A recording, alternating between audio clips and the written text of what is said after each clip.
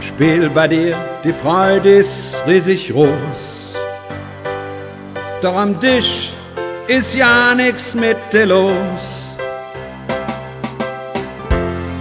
Den Ball bringst du auch nicht jo zurück. Und wenn nix läuft, dann fehlt dir auch das Glück. Nun Spiel, da bist du ganz verbittert.